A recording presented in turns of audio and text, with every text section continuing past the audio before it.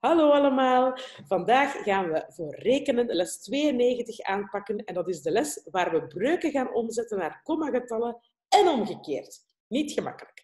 We zitten in onze werkschrift D op pagina 68 en 69 en we gaan dit filmpje even beginnen met een filmpje van Rekenmaak. Hier gaan ze al heel goed uitleg geven. Dus let goed op, daarna zijn die oefeningen gemakkelijk. Oké, hier komt het.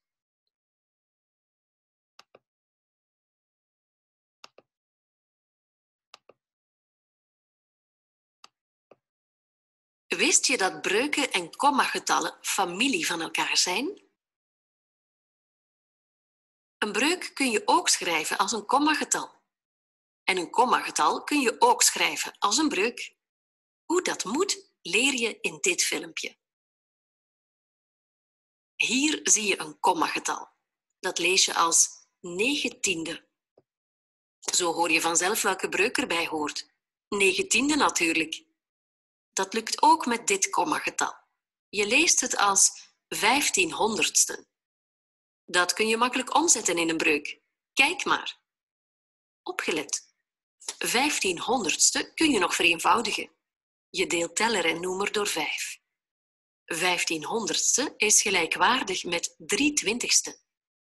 Dat doen we nog een laatste keer. Lees je ook dit kommagetal hardop? Dit is achttienduizendste. Ook dat kun je makkelijk omzetten in een breuk. Kijk maar. Opgelet, ook 18.000ste kun je nog vereenvoudigen. Je deelt teller en noemer door 2. 18.000ste kun je eenvoudiger schrijven als 9 vijfhonderdste. Dat lukt ook omgekeerd. Hier zie je een breuk. Die lees je als 3 van de 10 gelijke delen of korter, drie tiende. Dat kun je ook als een kommagetal noteren. Je noteert 3 in de kolom van de tiende. Gehele zijn er niet. 3 tiende is gelijk aan 0,3 of 0 gehele 3 tiende. Dat doen we nog een keer. Hier lees je 8 van de 100 gelijke delen, of korter, 800ste. Ook dat kun je als een kommagetal noteren. Je noteert 8 in de kolom van de honderdste. Gehele en tiende zijn er niet. 800ste is gelijk aan 0,08 of 0 gehele 800ste. Ook een breuk op noemer 1000 kun je makkelijk als een kommagetal noteren. Hier lees je 535.000ste. Dat is gelijk aan 0,535 of 0 gehele 535.000ste. Kun je 1 vijfde ook als een kommagetal noteren? Ja hoor, je zoekt een gelijkwaardige breuk op noemer 10, 100 of 1000. Daarvoor kijk je naar de noemer. 5 maal 2 is 10. Daarom vermenigvuldig je teller en noemer met 2. Zo krijg je 2 tiende. Dat kun je makkelijk als een kommagetal noteren. 1 vijfde is gelijk aan 0,2 of 0 gehele 2 tiende. Dat doen we nog een keer. Om 3 vierde als kommagetal te schrijven, zoek je een gelijkwaardige breuk op noemer 10, 100 of 1000. Daarvoor kijk je opnieuw naar de noemer. 4 maal 25 is 100. Daarom vermenigvuldig je teller en noemer met 25. Zo krijg je 75 honderdste. Ook dat kun je makkelijk als een kommagetal noteren. 3 vierde is gelijk aan 0,75 of 0 gehele 75 honderdste. Dat doen we nog een laatste keer. Om 5 achtste als kommagetal te schrijven, zoek je een gelijkwaardige breuk op noemer 10, 100 of 1000. Daarvoor kijk je naar de noemer 8 maal 125 is 1000. Daarom vermenigvuldig je teller en noemer met 125. Zo krijg je 625 ste Ook dat kun je makkelijk als een kommagetal noteren. 5 achtste is gelijk aan 0,625 of 0 gehele 625 duizendsten. Er zijn ook breuken waarvan je geen gelijkwaardige breuk op nummer 10, 100 of 1000 kunt vinden.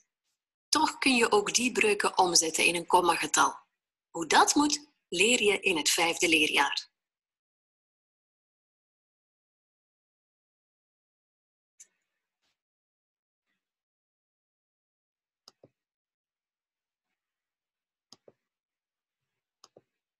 Oké, dat was het filmpje. Het laatste deel van dat filmpje is vooral een hulp bij oefening 4 straks, maar dat moeten jullie eigenlijk niet maken, enkel als je dat ziet zitten. Goed, we gaan eens kijken naar oefening 1.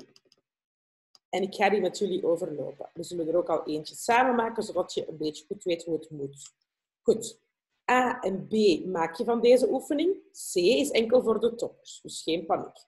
We beginnen met de eerste, uh, het eerste oefeningetje. We zien hier een kommagetal. Dat kommagetal is 0,9, maar we kunnen dat ook lezen als 9 tiende. En als je dat weet, dan heb je eigenlijk de breuk al gevonden. Zo makkelijk is het eigenlijk. Kijk goed. Voilà. Hier heb ik een uh, kommagetal met twee cijfers na de komma. Hoe lezen we dat dan? Goed. 7 honderdste is dit natuurlijk, want de 7 staat in onze tabel in de kolom van de honderdste. Daarom zou ik ook wel een kleine tip willen geven. Gebruik alsjeblieft een tabel. Goed. Dan krijg je 700ste. En zo maak je deze oefening eigenlijk helemaal. B ook. Die is niet zo moeilijk. Als je jouw kommagetal juist leest, dan heb je onmiddellijk de breuk gevonden. Uh, onze Bollebo zegt hier natuurlijk ook nog, vereenvoudig de breuk als het kan. Probeer dat Lukt dat niet, geen probleem, maar ik zou het toch wel proberen. Zoals bijvoorbeeld 19e, die kan je niet vereenvoudigen. 700ste ook niet, maar als je merkt, ik kan mijn teller en mijn noemer door hetzelfde getal delen, dan ga je die dan vereenvoudigen. En dan schrijf je dat erachter. Zoals hier, zie je al het voorbeeld. En hier ga je zelf moeten uitzoeken welke je kan vereenvoudigen. Goed, we gaan naar oefening 2. Hier doen we het omgekeerde. We gaan onmiddellijk eens kijken wat de bollebo vertelt en die zegt, lees de breuk, dan hoor je het kommagetal. Oké, we gaan eens proberen. Je mag alweer een tabelletje maken. We kunnen die nu natuurlijk niet geven zoals hier staat, maar je mag die wel zelf maken. Ik zal straks het voorbeeld even tonen. Oké, goed. Zeven tienden. Voilà, ik hoor het al. 7 schrijven wij in de kolom van de tiende en dan krijg je het kommagetal 0,7. Zo maak je ook weer deze oefeningen. Moet je hier vereenvoudigen? Nee, hè? nee, hier moet je niet vereenvoudigen. Voilà. Dus dat is een makkelijke oefening. En dan doen we nog oefening 3. Dit is wel een moeilijke. Want hier moet je dus eerst je breuk gaan omzetten naar een gelijkwaardige breuk, die wel op de nummer 10, 100 of 1000 staat. En pas dan kan je die als een kommagetal schrijven.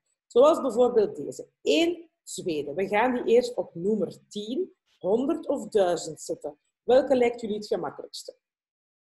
Ja, ik zou hem ook op nummer 10 zetten, inderdaad. We gaan eens kijken. Nummer 10. Voilà. Wat doe ik van 2 naar 10? Doe ik maal of gedeeld? Ik doe maal 5. Goed zo. Wat doe ik dan met de teller? Oké, net hetzelfde. Dus dan krijg ik de breuk 5 tiende.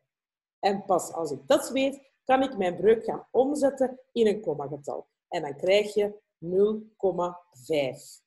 Voilà. Zo maak je deze oefeningen. Ik zal deze allerlaatste ook nog samen met jullie maken, want die is niet zo gemakkelijk. Wij moeten de nummer 125 naar 10, 100 of 1000 omzetten. Naar welke kunnen we het makkelijkste de, de noemer omzetten? 10 gaat niet lukken, 100 al helemaal niet, dus het zal wel 1000 zijn. En als je goed hebt opgelet in het filmpje, vertellen ze jou dat 125 acht keer in 1000 kan. Dus we gaan onze noemer vermenigvuldigen met 8. We doen dat ook met de teller en dan krijg je 2 maal 8 is goed zo, 16. Voilà.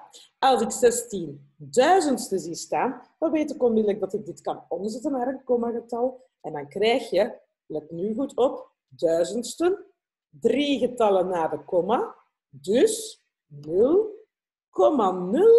en dan pas komt die 16. 0,016. Alweer, met een tabel lukt dit veel gemakkelijker. Daarom ga ik die tabel nu nog even tonen. Oefening 4 had ik gezegd, is voor de toppers. Die lezen zelf wat ze moeten doen en dat lukt hen wel. En dan ga ik nu nog even met jullie kijken naar de juiste tabel. Staat die hierin? Ik hoop van wel. Aha, voilà. Hier is de tabel. Zet het filmpje nu op pauze als je die graag overtekent. En als je dat niet nodig vindt, geen probleem, ik sluit hier af. Vrienden, tot de volgende keer. Veel succes. Dag!